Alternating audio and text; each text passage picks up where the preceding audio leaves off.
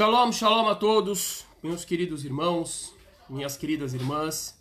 É um grandíssimo prazer, uma grande satisfação estar com vocês aqui falando, e não somente falando daquilo que é mais importante, mas principalmente realizando o que há de mais importante nas nossas vidas, realizando o desenvolvimento humano, realizando o amor, a justiça e a sabedoria.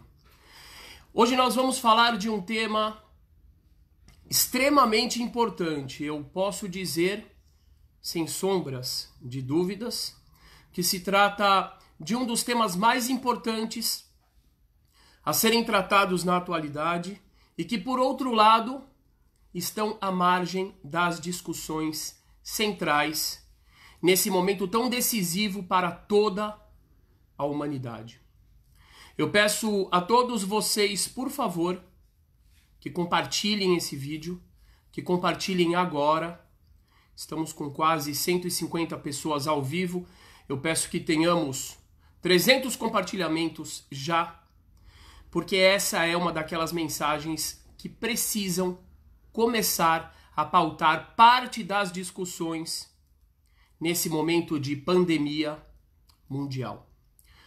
Vamos falar agora sobre o valor da vida. No âmbito das escrituras, o tópico central aqui, ou inicial, a nossa referência das escrituras sagradas, vai tratar das contagens do povo de Israel.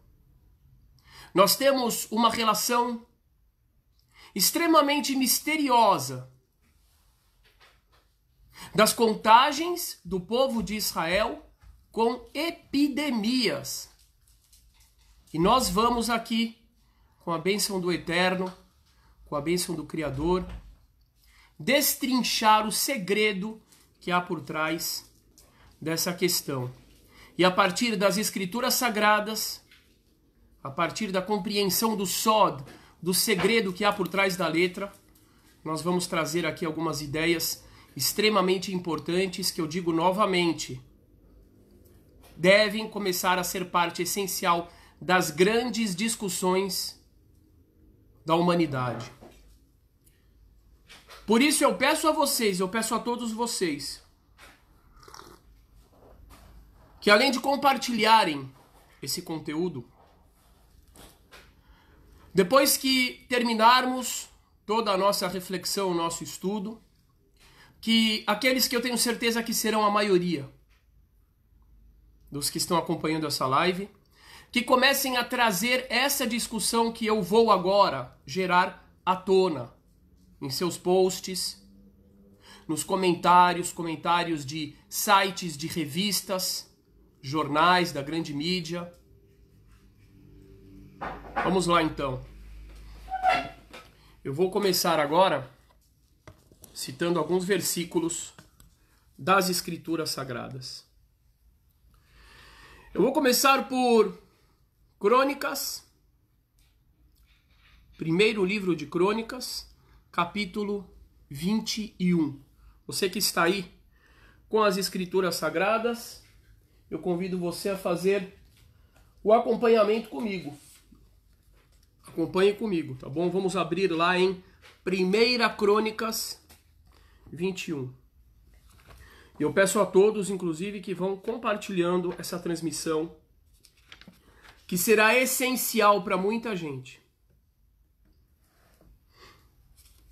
Para dar referências e até mesmo para salvar vidas. Prestem bem atenção. Vou começar a leitura aqui. Vayamod Satan al Israel. E se levantou uma acusação, ou acusador, contra o povo de Israel. Vayaset et David limnot et Israel. E ele incitou Davi, nosso amado rei Davi de bendita memória, a contar, a fazer uma contagem a fazer o censo do povo de Israel.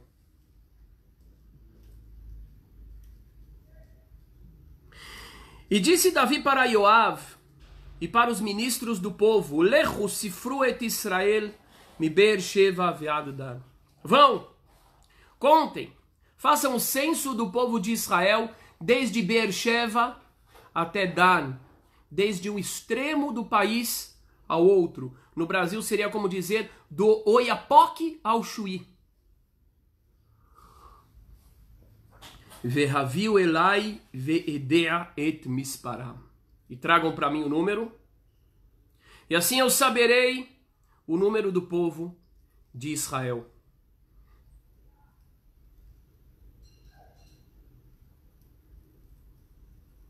Prestem atenção no mistério que tem aqui. Vayomer Yoav, Yosef Adonai alamo kahem me'afe'amim. E disse Yoav que o Eterno acrescente ao seu povo cem vezes mais. Que Deus multiplique o povo de Israel.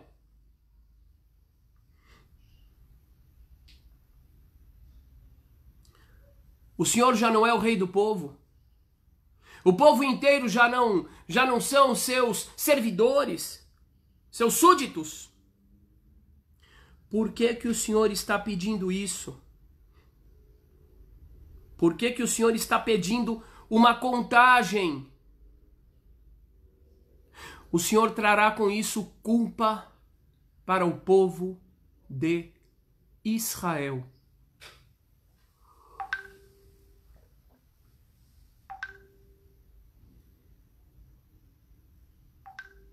Porém, a palavra de Davi foi imposta para Joav e saiu Joav e ele caminhou em todo Israel e veio até Jerusalém.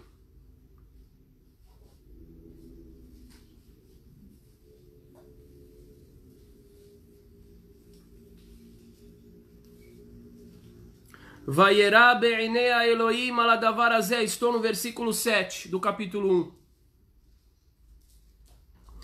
e foi negativo aos olhos de Deus isto e feriu Israel. Prestem bem atenção. A contagem foi negativa aos olhos de Deus e Deus feriu o povo de Israel.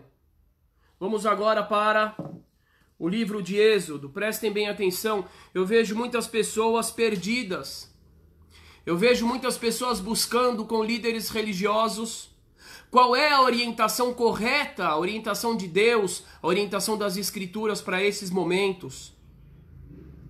E eu digo, escutem por favor o que dizem as Escrituras. Nestas passagens, justamente nas passagens que falam de epidemia, hoje nós vemos muitas referências religiosas algumas famosas, algumas nem tanto, se colocando no lugar de profetas, tentando através de seus discursos colocar a culpa nesse, a culpa naquele, de modo que favoreçam a percepção do público em relação à posição deles, de modo que eles coloquem a si mesmos e as suas instruções como os corretos, os protegidos, os blindados e o restante da humanidade será apanhada pela epidemia. Aquela, aquela pessoa que busca a verdade, que não lida com a religião como um torcedor de futebol, já percebeu o engano destes líderes religiosos. Vários deles, e preste bem atenção, independente da religião, judeus, muçulmanos e cristãos, Aqueles que pregaram a supremacia de sua fé, dizendo que a epidemia não seria, não atingiria as pessoas que seguissem suas instruções. Alguns deles já morreram por conta da própria epidemia. Então as pessoas estão perdidas, as pessoas estão sem referências. Isso me lembra muito bem aquelas passagens nas Escrituras em que o Eterno diz: Nunca mais deixarei homem algum dizer, Deus me falou, palavras de Deus. Por quê? Porque, infelizmente, a quantidade de líderes religiosos que mentem, que dizem que são palavras de Deus, que ouviram de Deus, que tiveram uma revelação, é muito grande. E assim era na época das Escrituras. A quantidade de falsos profetas era muitíssimo maior do que a quantidade de verdadeiros profetas. Por isso eu digo, você que está buscando de verdade o que as Escrituras dizem, venha ouvir o que as Escrituras dizem. Eu já mostrei para vocês em outros vídeos, aqueles que não ouviram, eu peço para vocês escutem os outros vídeos que eu fiz, sempre trazendo as escrituras. Eu mostrei como Moisés reagiu às epidemias. E estas foram algumas das melhores mensagens que eu trouxe na minha vida. Não são minhas.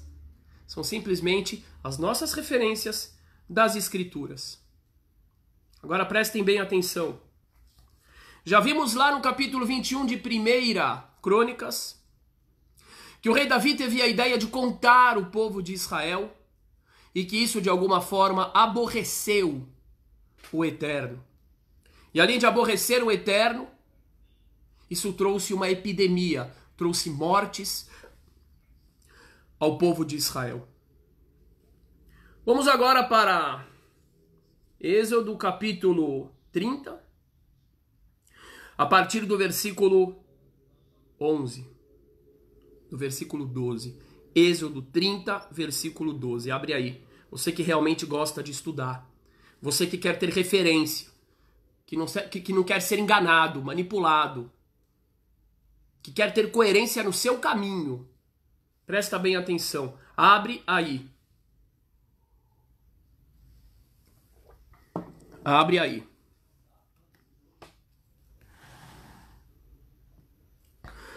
Kitissai trosh bene Israel lifkudeihem. O Eterno diz para Moisés. Eu peço novamente para vocês compartilharem. Temos aqui quase 400 pessoas ao vivo. Eu, 300 pessoas ao vivo. E eu peço a vocês que compartilhem. Eu não estou fazendo isso por mim ou pela casa de meu pai.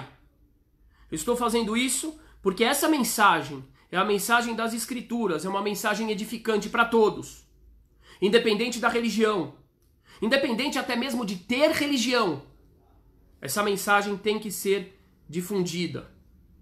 Nós precisamos começar a pautar as discussões e não somente sermos, como eu já estou vendo aqui em alguns comentários, lamentáveis e tristes e pequenos, torcedores de políticos Prestem bem atenção, compartilhem. Compartilhem essa mensagem. Êxodo 30, versículo 12.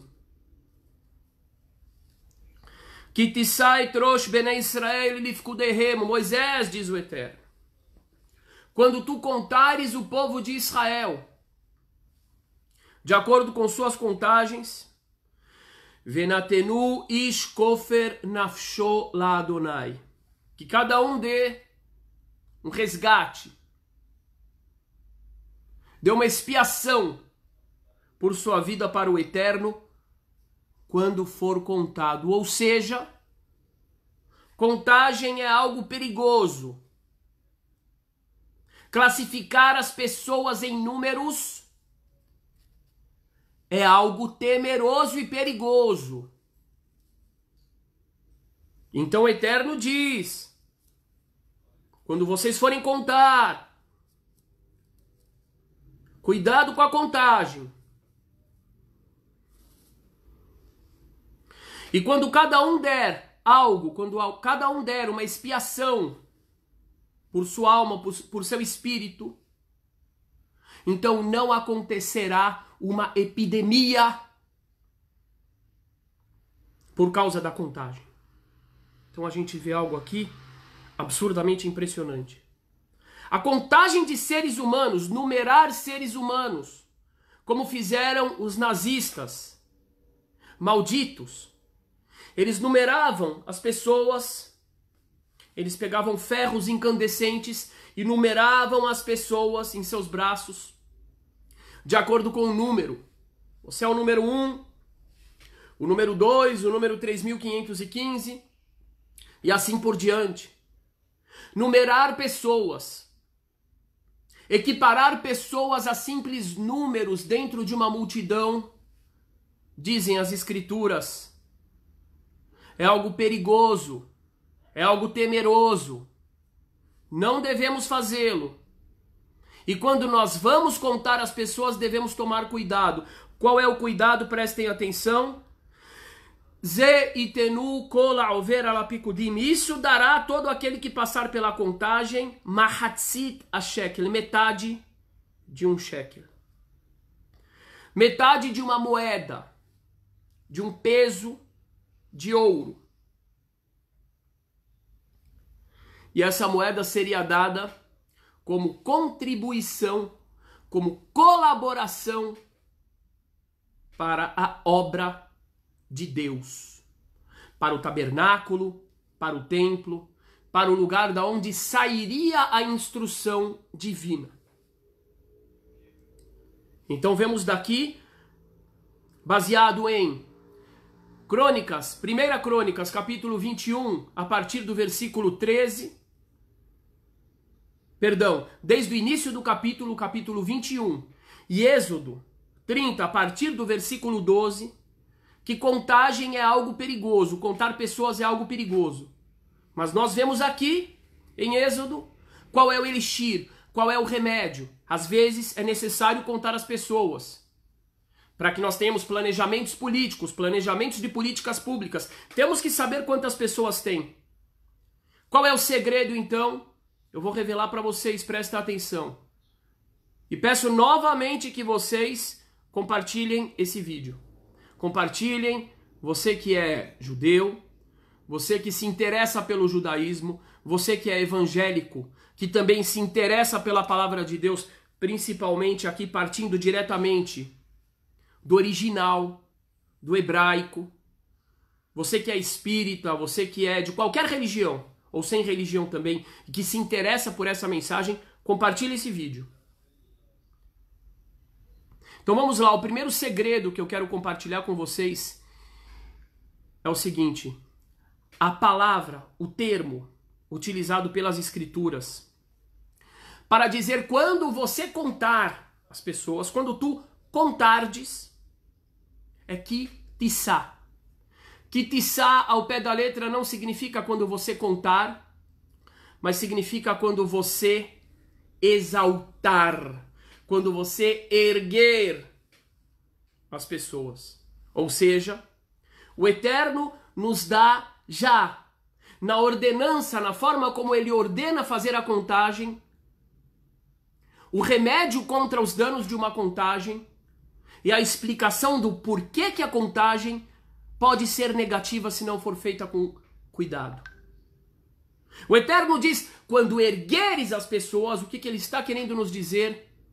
Que se não tivermos uma atitude de erguer cada indivíduo que a gente conta, cada número, se nós não dermos o devido valor a cada alma que está sendo contada e nós tratarmos ela somente como um número, nós estaremos colocando não somente essas pessoas em risco, mas toda a sociedade em risco. O Eterno está nos dizendo que uma sociedade cujas pessoas são tratadas como um número é uma sociedade que está se colocando em perigo. E é exatamente isso, esse perigo, que nós devemos combater hoje no planeta Terra e mais especificamente falando no Brasil. Estamos vendo os noticiários falando sobre estatísticas. Estamos vendo os políticos, os governantes falando sobre números. E estamos vendo o povo, nós, cada um de nós, que somos influenciados pelo bombardeio desse tipo de mídia, a entrarmos nas discussões de acordo com os parâmetros que eles colocam. Não, nós não devemos entrar nas discussões tratando as pessoas como simples números. Quantos morreram? Quantos podem vir a morrer? Quantos por cento? Qual é a letalidade? Ah, o Brasil está melhor que esse, está pior que aquele. Não é assim que se trata a vida humana. O Eterno diz: Kitissá, quando você for alçar cada um dos que você conta. E ele já está nos dando a resposta. Eleve a importância, reconheça a importância, ressalte o valor de cada vida humana. Vidas humanas não são números. Todo aquele que é realmente crente na palavra de Deus não pode aceitar tratar-se em vidas humanas como números. Está escrito em Gênesis que o ser humano, independente do ser humano que for, seja judeu, católico, evangélico, espírita, muçulmano, do candomblé, Hare Krishna, budista, ateu, todos esses foram criados à imagem e semelhança de Deus. A vida humana é sagrada e ela não pode ser tratada como estatística, como mais um número. E eu estou chamando todos vocês que estão assistindo. Somos quase 400 ao vivo agora. Estou chamando vocês para que me ajudem a trazer esta discussão à tona. Precisamos ver quem é cada um desses seres humanos. E quando começarmos a ver as pessoas como imagem e semelhança de Deus, o foco do nosso discurso não estará no número de mortes, nas expectativas, mas sim em trabalhar mais e mais para conservarmos a vida. Continuam dizendo as Escrituras. Peço novamente que compartilhem. Temos aqui quase 400 likes e só sem compartilhamentos. Faça o bem, faça o bem para outras pessoas. Com um simples clique, você pode estar salvando vidas. Você pode estar resgatando almas. É um simples clique. É isso que o Eterno pede de você agora. Só compartilha. Assim a gente fará a nossa parte e assim seremos abençoados também. Presta atenção no que dizem as Escrituras. O Eterno diz: Você quer salvar a vida? Então conte cada pessoa pela contribuição que ela faz. Olha que coisa linda. Que cada um dê um valor específico, era um valor baixo. Mas o simbolismo desse valor que era doado para a obra de Deus, ele tinha como intuito mostrar que cada uma dessas pessoas não é um número, mas é uma parte na soma da construção de uma sociedade divina. Então, quando você falar de uma pessoa, não se refira a um número, porque ela pode ser um professor, uma professora, um assistente social, uma enfermeira, um pai, uma avó, um irmão, um amigo. Quantas dessas pessoas que estão morrendo e que estão morrendo de uma forma extremamente triste, isoladas de suas famílias, muitas delas já sem direito ao enterro, não são almas que têm uma contribuição maravilhosa com a sociedade? Quantos não são pais e mães anônimos, mas que batalharam a vida toda até o momento de suas mortes para sustentar os seus filhos com dignidade, com honra? Quantas dessas pessoas que não estão sendo tratadas como número não fazem parte daquele grupo de pessoas que sai de noite, de forma anônima, para ajudar uma pessoa carente, dando uma sopa, dando um agasalho? Será que elas merecem ser tratadas como números? Eu respondo, e as escrituras respondem, elas não merecem ser tratadas como números. Nós devemos prestar atenção em cada um. Na hora da contagem, de uma forma mais importante ainda, na contribuição que elas dão ao mundo. E eu repito, contribuição não necessita, não tem que ser necessariamente algo que as torna famosas, mas contribuição é o amor que o marido dá à esposa, a esposa ao marido, os filhos aos pais, os avós. Como os avós estão sendo tratados? Ah, mas era uma pessoa acima de 60 anos. E daí que era uma pessoa acima de 60 anos? Quem falou que essa pessoa acima de 60 anos não tem, inclusive, a bagagem, a história, os valores necessários para se formar uma geração. Às vezes você tem mil jovens, dez mil jovens, que sem uma pessoa acima de 60 anos viverão como simples animais em seus instintos. E às vezes uma pessoa de 60, de 70, de 80 anos, de 90 anos, através de sua experiência de vida, do conhecimento amealhado, ajuda a transformar 400 jovens que estavam perdidos em 400 representantes da nata da humanidade. Existe um, um dito no Talmud, na tradição judaica, que diz: En dohin nefesh bifnei nefesh. Você não pode dar preferência para uma vida se isso servir de razão para excluir uma outra vida. Eu vou trazer um caso muito interessante que aconteceu lá em Israel. Eu li sobre esse caso. Traz para mim também, por favor, filho. Isso aí que você está bebendo. Prestem bem atenção. Eu li um artigo de um israelense que escreveu sobre um caso que ele esteve envolvido ele foi chamado, acho, como testemunha. Uma pessoa que atravessou o farol vermelho e que foi chamada pela justiça para prestar contas. Aquele de limão. Aqui. Só passar água. Tinha café. E aí ele foi no tribunal e ele viu que na antessala do tribunal a grande maioria das pessoas que estavam naquele momento se referiam à mesma infração. Elas tinham passado o farol vermelho um farol que fica numa rua anterior a um hospital de emergência. E o motivo que eles tinham passado o farol é porque havia uma ambulância atrás buzinando com a sirene e assim eles passaram o farol. Atravessaram o farol para dar precedência à ambulância que vinha atrás. E bom, o autor do artigo ele disse: Eu acho que está certo, eu acho que essas pessoas todas vão contar com a compreensão do juiz e serão absolvidas eu pergunto para vocês, inclusive, qual é a opinião de vocês. Obrigado.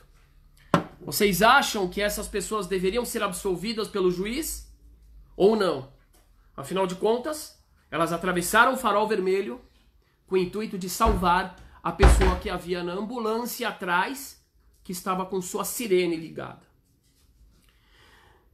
E no momento em que ele ele entra para escutar qual será o julgamento e o veredicto,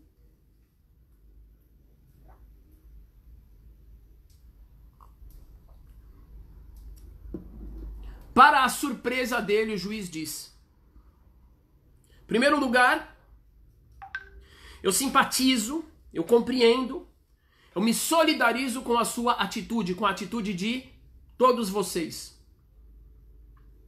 Porém, eu preciso fazer uma pergunta.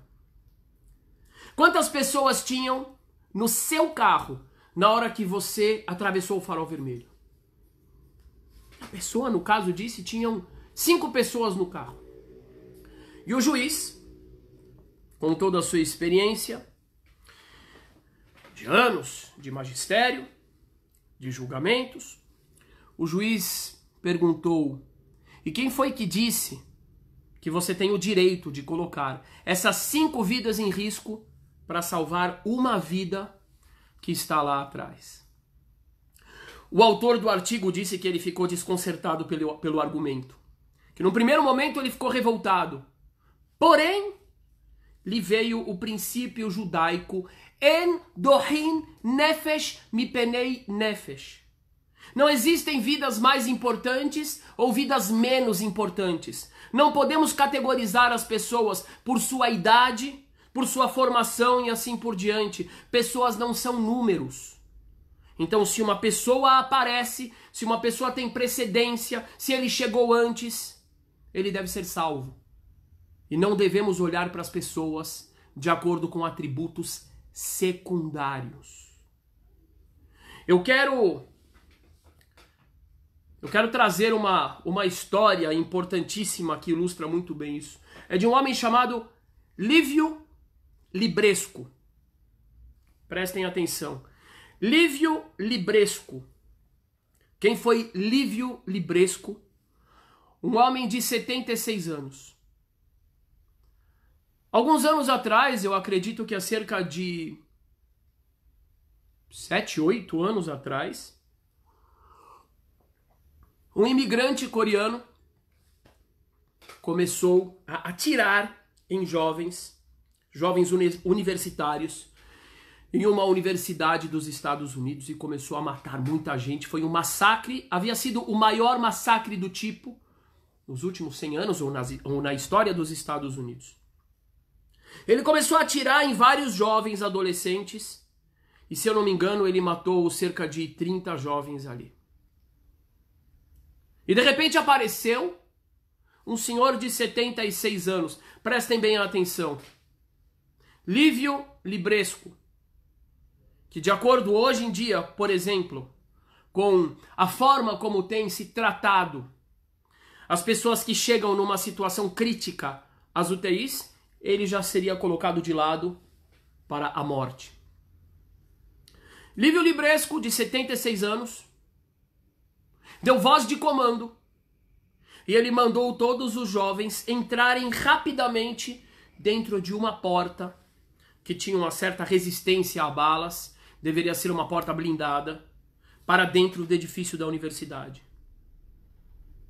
Aqueles jovens não tinham noção de autoproteção. Aqueles jovens não tinham história para saberem como reagir. E por causa da voz de comando daquele senhor de 76 anos, Lívio Libresco, aqueles jovens todos entraram dentro do edifício. E aquele homem, prestem bem atenção, que hoje em dia estaria dentro da estatística, não, mas não tem problema, ele tinha corona, mas ele tinha 76 anos. Ai, tudo bem. Então eu fico aliviado. Ficamos aliviados. Não estamos dentro da estatística, e claro, eu estou me referindo aos que estão fora dessa estatística pela idade, como eu. E obviamente nós temos idosos aqui que estão assistindo e que se colocam dentro do lugar dele, dentro do drama dele. E o que eu quero provocar aqui é um exercício não somente de reflexão, mas de empatia. E aquele homem segurou a porta. Não somente ele colocou as pessoas lá dentro, mas ele segurou a porta. De nada adianta uma porta blindada se ela não tem tranca. E a universidade toda não estava preparada para uma situação como essas. E o senhor Lívio Libresco heroicamente foi lá e segurou a porta. Enquanto os jovens conseguiram escapar, ele evitou um massacre gigantesco. Podem procurar na mídia. Podem procurar, coloquem Lívio Libresco. Evitou um massacre gigantesco de jovens. Mas o rapaz que estava com a arma deu um tiro, deu dois, deu dez, deu vinte, deu trinta. Isso acabou perfurando a porta. E o senhor Lívio Libresco devolveu a sua alma heróica forte, corajosa, cheia de amor ao Criador. E aqui vem o ponto muito importante dessa narrativa. O senhor Lívio Libresco, que era, prestem bem atenção, o tesouro que era aquele homem. Ele não era um número. E nenhum ser humano é um número. E é isso que a gente aprende de Crônicas, 1 Crônicas 21. De Êxodo 30. Nenhum ser humano pode ser tratado como número. Ele era o professor de engenharia e matemática na Faculdade de Tecnologia da Virgínia por 20 anos. Um pai de família, um avô de família, um professor, um mestre, e aquele homem que havia acabado de tombar, com seu corpo todo perfurado, enchendo o chão do corredor que dava acesso à universidade, onde os alunos já estavam bem escondidos e protegidos, era também um sobrevivente do Holocausto.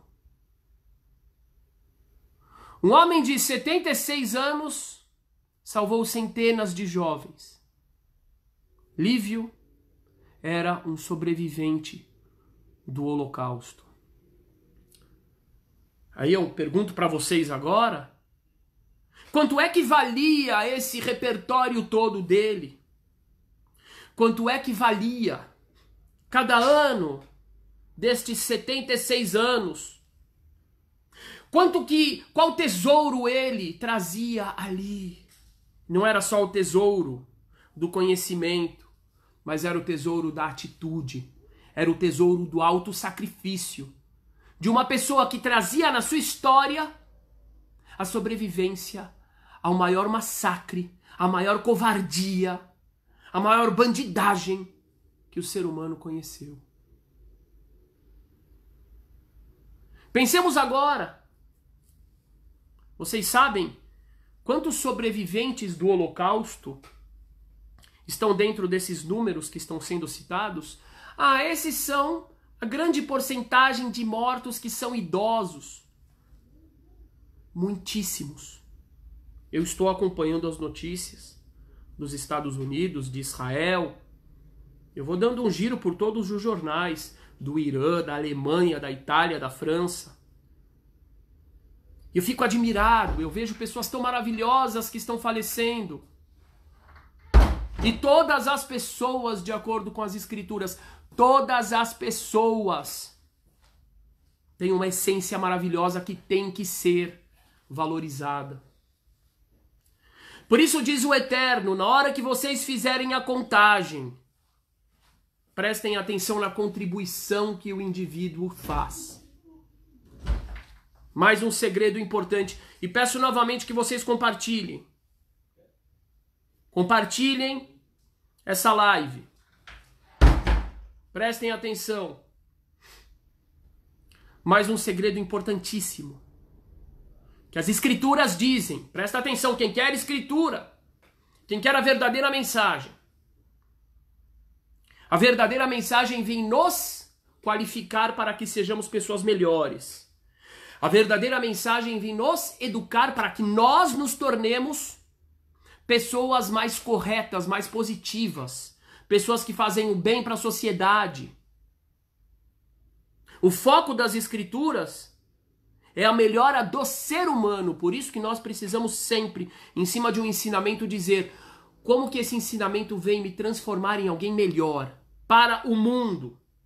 Presta atenção. Qual era o valor que a pessoa deveria doar no momento do censo para ser contada? Porque o que era contado, o que, o que seria contado depois seriam as moedas doadas. Um valor ínfimo. E não as pessoas diretamente, porque pessoas não podem ser contadas. Pessoas não são números. Pessoas não são estatísticas. O valor era meio shekel. Por que meio? Era meia moeda. Como se fosse meio real. Para quê? Para ensinar uma outra coisa muito importante. Que indivíduo nenhum é completo. E que a compleição, a plenitude de cada um de nós só se dá quando nós somamos com o próximo. Por isso dizem as escrituras: Reashir lo yarbe vehadal lo yamit. O rico Não pode dar mais. Ah, eu posso dar mil shekel, eu posso dar um milhão de shekel. Só que não é uma contagem para arrecadar dinheiro. Você vai dar meia moeda, assim como o mais pobre vai dar meia moeda. Porque o intuito é contar as pessoas através do elemento contribuição. E cada pessoa, no final das contas, seja rica ou seja pobre, é somente uma parte do todo da construção dessa coisa maravilhosa que é chamada de humanidade, de família humana, de sociedades que é o grande objetivo das Escrituras. Então, novamente, não é somente não categorizar as pessoas por números, mas contar as pessoas por sua contribuição, valorizar cada um, quitzá, elevar cada um, ressaltar a grandeza de cada um, mas também sempre nos lembrando que dentro da perspectiva divina, pleno, completo, perfeito, só Deus e todos nós devemos nos ver como metade, meio shekel, meia moeda, como parte de algo maior. E se for assim, então nós estamos muito mais protegidos dos aspectos mais nefastos de uma epidemia, que são a desvalorização do ser humano, a transformação do ser humano em uma simples estatística, em um simples número. E seres humanos não são números, não são estatísticas, e nós não temos a qualificação para dizer este sim, este não. Isso não é um atributo humano. Isso é um atributo divino. E eu repito, às vezes um idoso, como no caso do Lívio Libresco, de bendita memória, de bendita e consagrada memória, é o fator que vai edificar milhares ou milhões de vidas jovens também.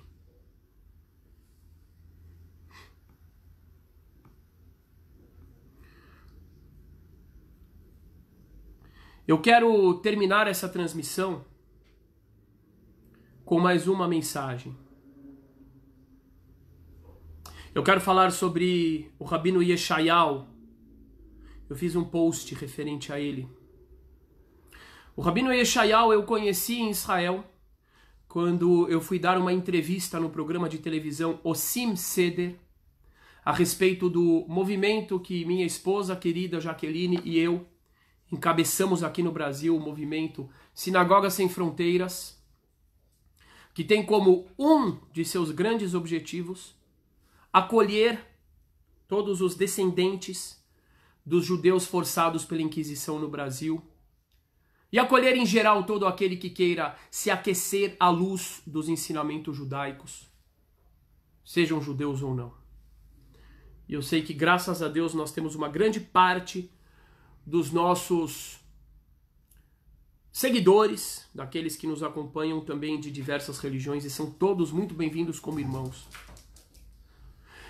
Enquanto eu esperava na antessala para darmos a entrevista, eu e a, a, a neta do seu João Medeiros, nosso querido Raham João, do Rio Grande do Norte, enquanto esperávamos, eu vi um, um senhor, um chapéu, com a barba, e eu perguntei a ele, o senhor vai dar entrevista também? Ele disse sim. Eu perguntei sobre o que o senhor vai falar. E ele falou sobre o meu projeto de vida. E qual é o projeto de vida dele? Projeto de vida dele era salvar pessoas que precisavam de transplante de rim. Ele salvou centenas, quase mil pessoas que precisavam de transplante. E qual era o trabalho dele? conversar com essas pessoas, pegar os testes destas pessoas de compatibilidade, procurar outras pessoas que tivessem os mesmos pré-requisitos do ponto de vista biológico e promover os transplantes. Ele salvou quase mil pessoas desse jeito. Ele promoveu vidas, ele fez amizades muito profundas. E ele foi uma das pessoas que faleceu, vítima do coronavírus.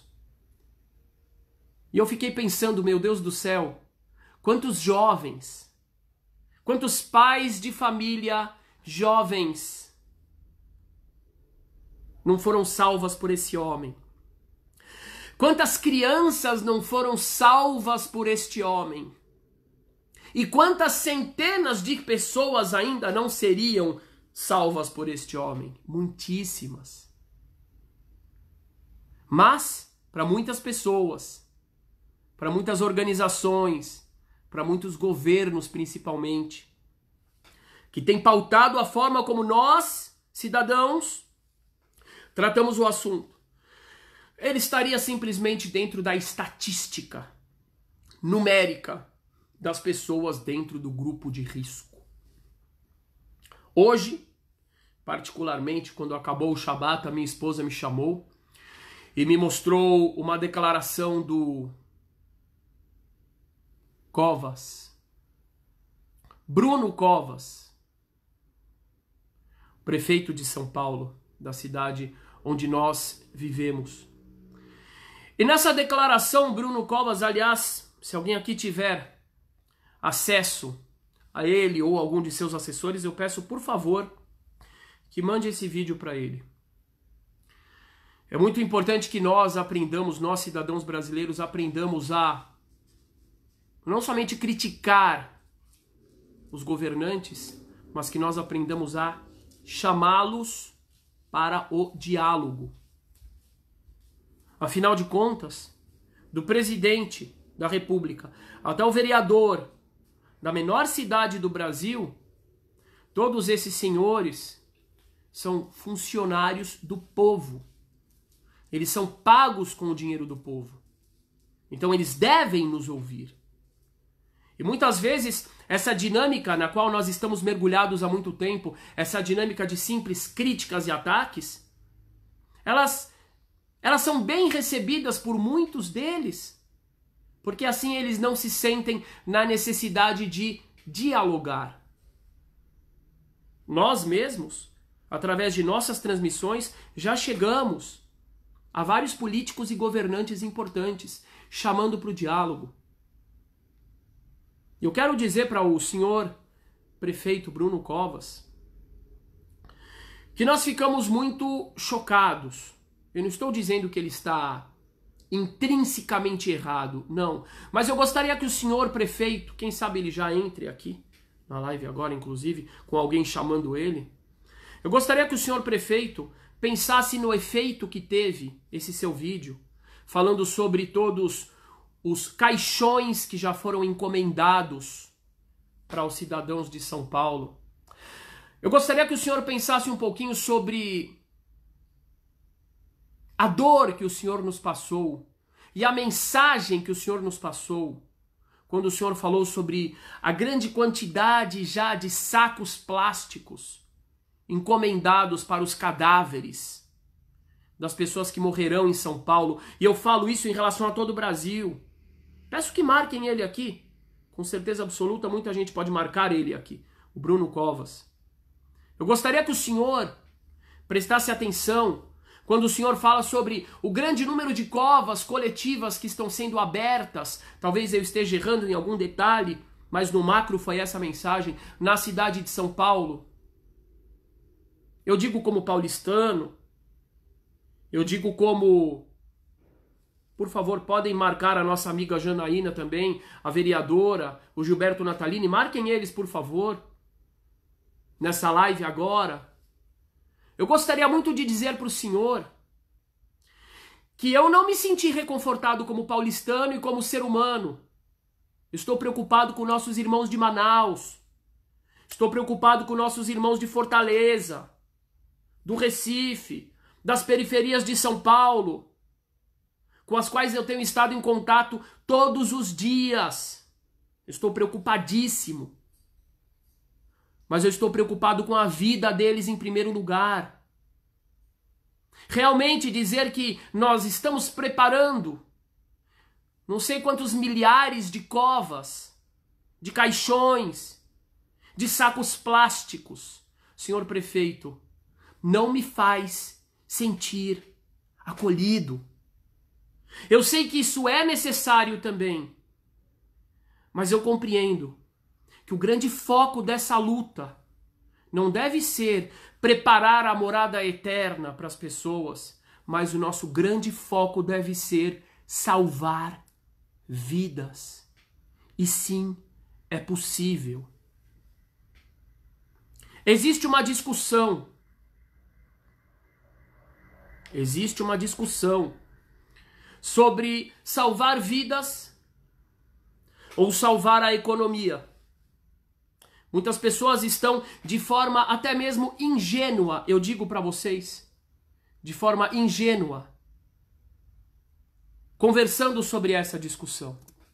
E eu compreendo que essas opiniões que eu considero democraticamente equivocadas, elas em grande parte não estão baseadas numa numa má índole, não, mas sim numa compreensão errada. Qual é a ideia? Elas dizem. Se a economia continuar parada, o que acontecerá? Logo, as pessoas sem dinheiro começarão a passar fome. Logo, muitas delas morrerão por fome. E, obviamente, haverão saques e etc, etc, etc.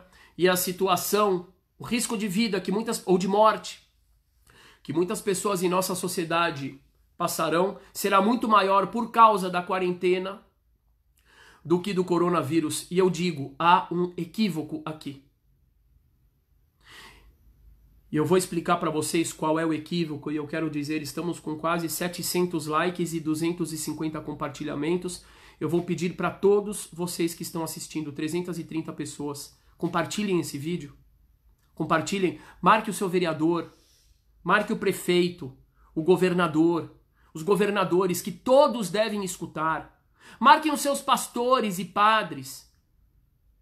Marquem as pessoas para que essa mensagem, eu, eu, eu, estou vendo tantos líderes religiosos ignorarem cada vida, caminhando na direção contrária do que a mensagem divina e cristalina das Escrituras nos trazem, que nós devemos valorizar cada vida. Por favor, marquem eles, compartilhem os vídeos.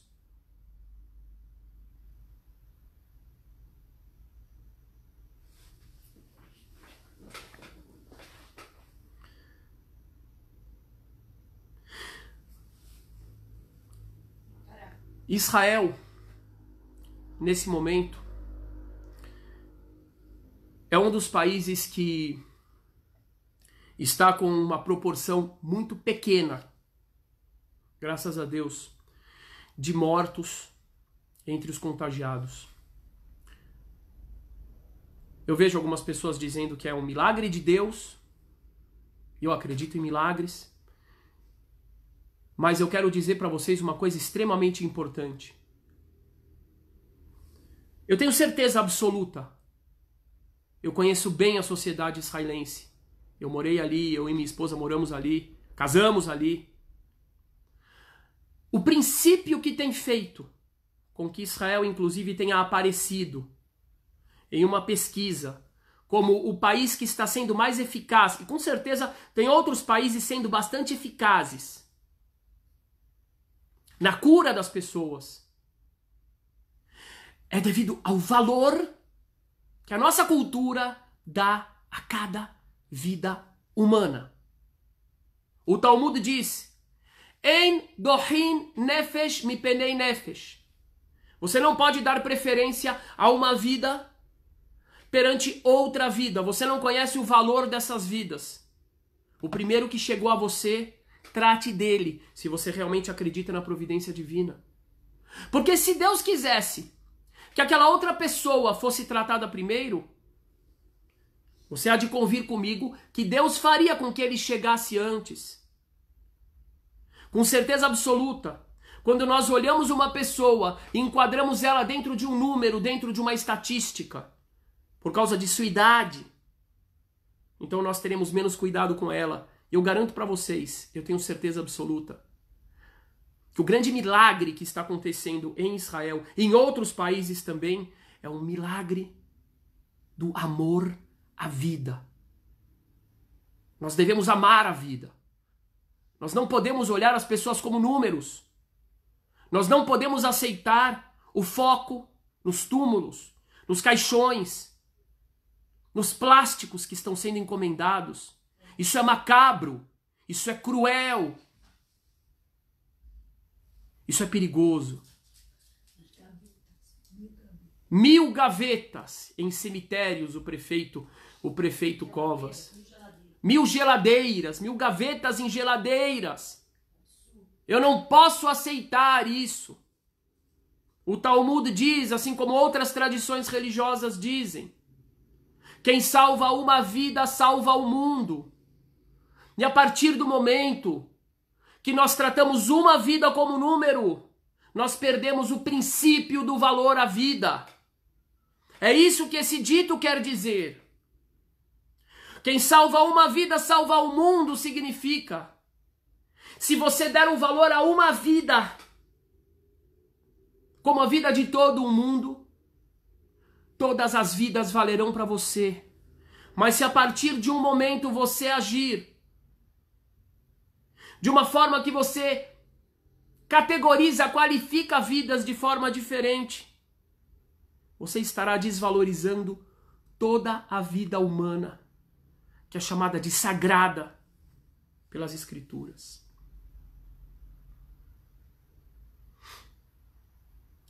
Eu tive um pequeno lapso e agora eu me lembrei do que eu ia falar.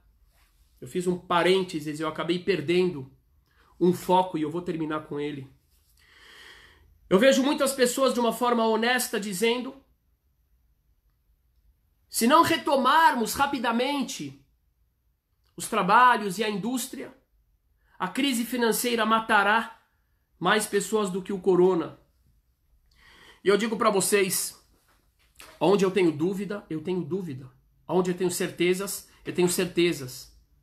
Mas onde eu tenho dúvida, eu, eu preciso escolher a opinião mais segura para a vida. E por enquanto, até agora, todas as experiências, prestem bem atenção, inclusive dos Estados Unidos, onde o presidente Donald Trump tinha escolhido não aderir à quarentena desta forma. Isso levou a uma catástrofe gigantesca nos Estados Unidos. Os Estados Unidos estão com cerca de um milhão de infectados e 50 mil mortos. Isso é um número muito maior do que o número de muitas guerras. E Donald Trump voltou atrás porque ele percebeu que ele havia errado. A mesma coisa na Grã-Bretanha, na Inglaterra, onde o seu líder também tinha dito que não faria exatamente como outros países estavam fazendo, e a coisa começou a se tornar trágica no número de mortes e infecções. Ele mesmo foi contagiado. E ele voltou atrás.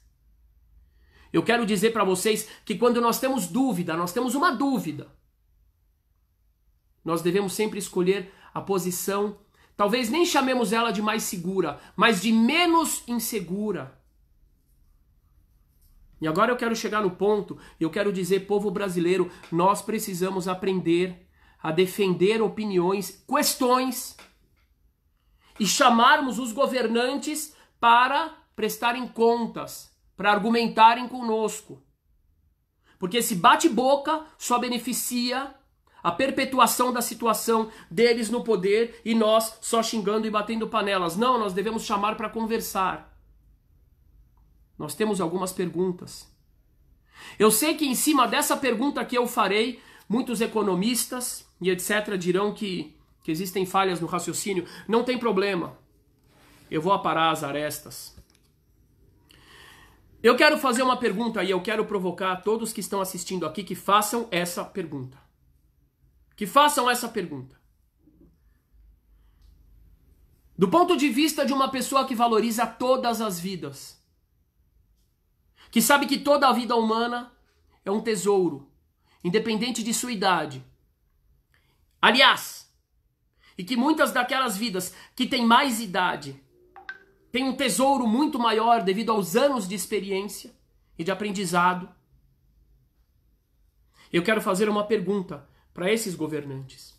E eu quero trazer as pessoas para essa discussão. O governo federal deu 1 trilhão e 200 bilhões de reais. Escutem comigo novamente. O meu amigo Luft está dizendo: parece que não ligam para nossas opiniões. Não, André Luft. Eu vou dizer para você: não é verdade. Nós não temos opinião como povo. Quando nós temos opinião como povo, eu garanto para você, um post com poucos argumentos desse assunto, bombando, viralizando, ele puxa obrigatoriamente os políticos para discussão. Falta estratégia. Falta inteligência ao povo. Meu povo padece por falta de conhecimento. Nós sim temos como trazer os políticos para essa discussão. E é isso que eu estou tentando fomentar. E vamos conseguir. Por isso também eu peço o compartilhamento. E que vocês compartilhem essas questões em vários posts, em várias mídias, para que a gente consiga, aprendendo com o coronavírus, infeccionar não é infeccionar a palavra, mas atingir mais e mais pessoas. A questão simples é: 1 trilhão e 200 bilhões de reais foram destinados aos bancos. Dizem eles que é para que não quebre a economia, mas aí eu venho com uma pergunta muito simples e de uma pessoa curiosa no assunto. Nós sabemos que nas últimas décadas os bancos aqui no Brasil amealharam muito, muito, muito dinheiro. Verdadeiras mega fortunas. E eu me pergunto, será que realmente os bancos não teriam condição, não teriam gordura armazenada nesses anos todos, nesses sete anos de fartura, para aguentar a crise? Será que eles realmente precisavam de uma injeção tão grande de dinheiro? E eu não estou dizendo que se, digamos que se de fato eles precisavam, eles não deveriam receber, talvez sim deveriam. Mas de qualquer forma, será que uma parte dessa riqueza toda não deveria ir ao povo ao invés dos míseros 600 reais? Que sabe-se lá como e quando chegarão? Façam um cálculo, meus queridos. E eu quero chamar os nossos governantes e eu quero que todos chamem, independente da, da, da, ideologia política, os governantes, e que a gente espalhe esse tipo de argumento, e que a gente consiga de fato lidar com a ideia de que o poder emana do povo. Mas não é um poder simplesmente de protesto e de xingamento. É o poder de formar ideias. Nós temos pessoas geniais no Brasil. E de trabalharmos ao redor de demandas únicas Peguem a calculadora. Primeiro eu falei para vocês, peguem as escrituras. Agora eu digo, peguem a calculadora e dividam 1 trilhão e 200 bilhões por 200 milhões de habitantes. Façam isso. Façam isso. O povo brasileiro precisa começar a aprender a elaborar o argumento para chamar os políticos para discussão. Eu vou fazer aqui, eu vou abrir aqui no meu computador, calculadora. Aí eu vou pedir para vocês, vocês que estão com acesso mais rápido aí à calculadora. Meu computador está um pouquinho devagar. Qual é o valor que vai dar? 1 trilhão e 200 bilhões. Vocês vão tomar um choque na hora que vocês verem o valor que vai dar. Aqui. 1 Sim. Vamos ver, eu quero, quero ver aqui o que, que vocês vão trazer, o número que vocês vão trazer. 120, 1.200. Aqui eu tenho 120 milhões. 1, 2, 3, 1 bilhão, 1 trilhão. 1 trilhão. Mas eu vou colocar aqui, é, tudo bem, 1 trilhão. Um, dois, três. Agora eu vou dividir. Vamos ver se alguém aqui fez o cálculo. Por 200 milhões de habitantes. Vamos ver quanto é que daria para cada habitante? É, o meu cálculo saiu errado. Meu cálculo saiu errado, eu vou tentar de novo. Não, eu vou pedir para vocês, eu vou falar mais ou menos o que eu sei de cabeça. 6 mil reais, o André Barbosa está dizendo. 6 mil reais. Obrigado, Jaque. Obrigado, André Barbosa. 6 mil reais, eu vou dizer para vocês o que, que significa para uma família de 5 pessoas. 5 vezes, pessoas vezes 6 mil reais significa 30 mil reais. Imaginem só se cada família de 5 pessoas no Brasil recebesse 30 mil reais. Ao invés desse dinheiro ter ido todo para os bancos, e o governo tivesse dito para nós: paguem suas dívidas para o banco, você vai ter que pagar do mesmo jeito. Ou seja, os bancos não vão quebrar, porque as pessoas vão ter o dinheiro para pagar a dívida. Inflação não vai ter. Porque, claro que não. não é óbvio que uma família que tivesse um, uma renda de dois mil reais não iria receber 30 mil reais. Cada família receberia algo próximo aquilo que normalmente recebe, porque senão a inflação estouraria. E o que, que aconteceria então? A economia continuaria aquecida. Nós não precisaríamos pedir empréstimos aos bancos, nem que sejam com juros baixos. E ninguém, ninguém teria que se expor, expor a sua própria vida, expor a se tornar simplesmente mais um número dentro das estatísticas por questões financeiras. Então eu digo para vocês, eu tenho certeza que algumas pessoas dirão, não, não é exatamente assim, mas me informando, graças a Deus, nós temos amigos, nós temos membros do nosso movimento que conversamos bastante, que são economistas. Nos informando com eles, nós sabemos que existe dinheiro suficiente sim no governo federal para esse tipo de atuação. Não precisa ser 30 mil reais por família, mas com certeza absoluta há dinheiro suficiente para manter as famílias, cada uma dentro de seu orçamento, as que precisam, de modo a não expor as pessoas de uma forma irresponsável. Então, por exemplo, na Alemanha, existe uma quantidade enorme de leitos. Acho que 40 mil, não é isso, Jaque? Foi construído mais. Eles já tinham 20 mil foi construído mais 20. Muito bem. É, eu estou vendo aqui. Então vamos pegar, por exemplo, na Alemanha, eles têm um número tão grande de leitos que agora que eles têm muitos leitos sobrando, então eles começam a fazer uma quarentena parcial. Por quê? Porque as pessoas que saírem, diferentemente do que está acontecendo em Manaus e logo acontecerá em São Paulo, Rio de Janeiro e outras grandes capitais, não, não se depararão com UTIs lotadas elas terão lugar na UTI para serem atendidas. Então, ao invés da gente investir tanto em túmulos, em caixões, em geladeiras, que tal investirmos mais em UTIs?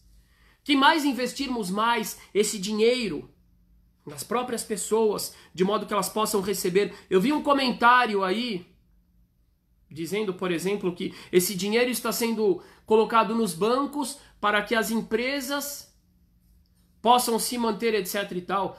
Quer dizer, as empresas possam pegar dinheiro dos bancos, fazendo empréstimo, do dinheiro que é cobrado dos impostos das próprias empresas, para que as empresas não quebrem e para que os seus funcionários recebam quanto? Os 600 reais do governo? Quantos funcionários estão sendo demitidos por essas empresas, por exemplo?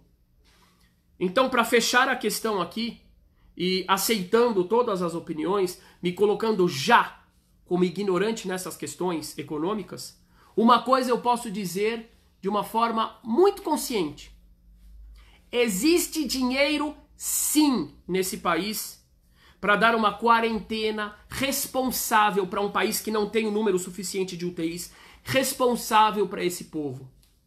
Nós não devemos contar as pessoas como estatísticas e idoso não é chiclete para ser mascado e cuspido.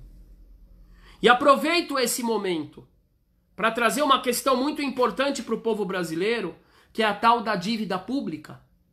Uma dívida que pega mais ou menos metade do orçamento inteiro do Brasil só para a gente pagar juros e juros de uma dívida que nem se sabe exatamente como foi contraída e para quem é. Imaginem que o Brasil tivesse o dobro do orçamento que tem para a saúde, para a educação, para a segurança, para o lazer. Existem países onde foi feita uma auditoria da dívida. E a dívida pública baixou para 20% do que ele era. E o país encontrou uma, uma, uma situação de bonança muito maior. O povo precisa aprender a estudar as questões. Precisa aprender a argumentar. Precisa aprender, como eu estou fazendo nesse momento, a reconhecer as suas limitações.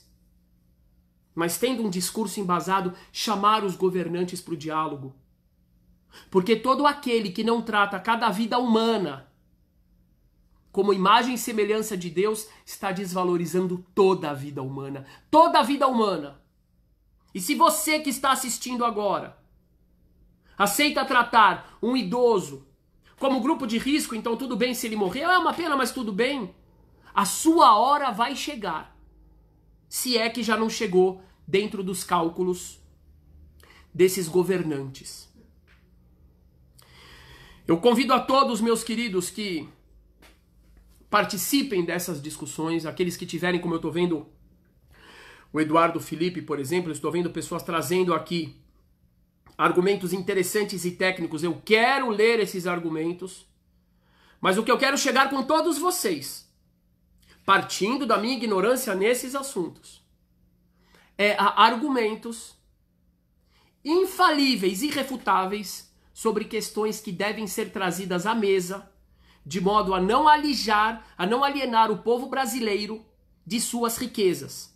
Porque pegar o nosso dinheiro, o nosso dinheiro, recolhido dos nossos impostos, e injetar dentro de um setor, por mais que possa ser necessário, jogando esmolas para nós, é um cuspe na cara. Seja lá o partido que for e como um representante dessa tradição espiritual, eu não posso aceitar isso. Eu não posso assistir calado. Um grande abraço a todos vocês, jovens, idosos, enfim, seres humanos, filhos de Deus. Que o Todo-Poderoso os abençoe, os proteja e que proteja o nosso espírito, que proteja a nossa alma para que nós não absorvamos esses princípios perniciosos à humanidade. Somos todos filhos de Deus e nós temos que lutar pela vida e não pelos túmulos e não pelos caixões. Isso é uma decorrência do nosso fracasso. Mas nós devemos trabalhar pelo sucesso. E quem salva uma vida, salva o mundo. Um grande abraço para você. Que Deus te abençoe muito. Compartilhe esse vídeo e deixe o seu comentário. Shalom a todos.